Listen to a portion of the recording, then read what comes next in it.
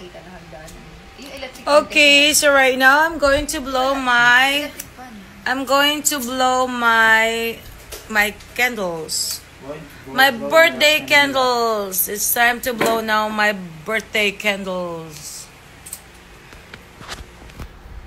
Ayun. Hoy! Ito pose. No, wala nang space. Ah? Resume. Resume, resume! Resume yan. Okay. Ayun.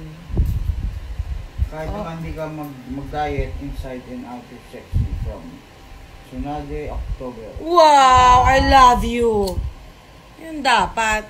Huwag na pala, may January to October. Alam nyo, kasi ang pagka-sexy, hindi lang naman dahil sa katawan, kundi inside and out. Tama ka. Yun ang dapat mabigyan ng ano, Ha? ng to? paghanga, Tinanggal mo na to? acknowledgement. Okay, so my wish is, rin. my wish is, I hope I'm gonna go back to being sexy like that again after New Year. Oh, di ba? Ay, akala ko... I promise, I promise after New Year, I will start my diet. Oh, start lang pala. Kita mo, sabi mo, kakasabi niya lang, after ng, after ng birthday. Ngayon, nag-extend na kami. Extend, okay? Extend Extend. Oh, sige. Okay, dahil, eto ha, tandaan nyo. Eto, tandaan nyo.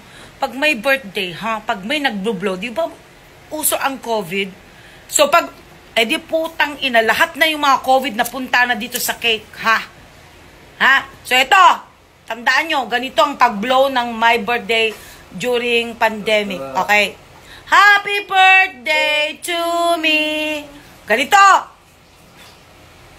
Very good. Yun. Putang ina nyo, kung hindi nyo gagawin yan, hindi ako kakain ng cake nyo.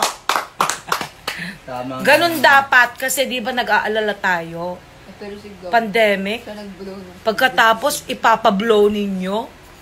Ha? Papablow ninyo. So, ibig sabihin, paano kung merong COVID nga pala yun ng may birthday? Blino na napunta lahat doon sa birthday cake. Eh di nandyan na lahat Pati yung si mga COVID, COVID. pinagsalo-saluhan na.